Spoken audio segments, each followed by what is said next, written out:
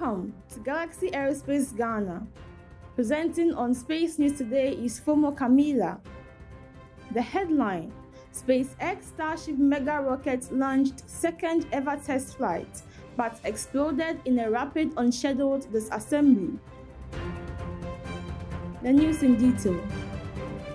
SpaceX next generation mega rocket, the largest ever built, was launched on its second ever test flight on November 18, a highly anticipated expedition that took the giant to space for the first time but did not last long. Shortly after stage separation, the rocket's massive Super Heavy booster exploded, with the Starship upper stage vehicle itself detonating before reaching its target altitude in what SpaceX called a rapid unscheduled disassembly.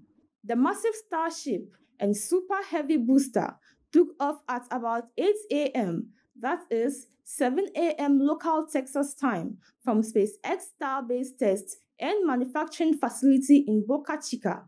Starship stage separation occurred on time at about 2 minutes and 41 seconds after liftoff and appeared to go smoothly, but the heavy booster exploded shortly afterward. It was the second explosive moment for the biggest rocket ever built, but SpaceX hailed it as a success. The first liftoff occurred on April 20th of this year one reason for April's unscheduled disassembly was the failure of Starship's two stages to separate because the propellants leaked from the Super Heavy booster and caused fires that severed the connection with the primary flight's computer. To prevent a recurrence of this problem on the second flight, SpaceX decided to go with a new strategy called hot staging, in which the upper stage's engines begins firing before Starship and Super Heavy have fully separated. The spacecraft was never expected to reach full orbit around Earth.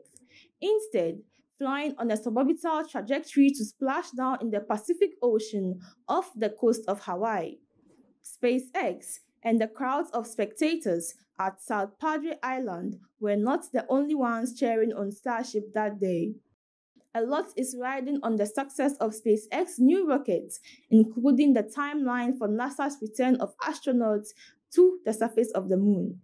Assessment of this second test flight will show whether SpaceX's new system is effective at reducing debris and pollution. Starship's launch that day was hoped to lead to an increase in launch counts for new vehicles as further refined designs make their way to the launch pad at Starbase.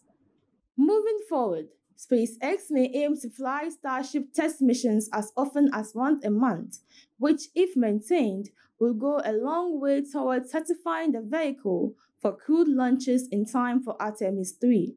Elon Musk has praised the vehicle's capabilities for rapid reusability and hopes to see the same vehicles launching, landing, and relaunching multiple times a day, eventually amounting to possible hundreds of Starship launches every week.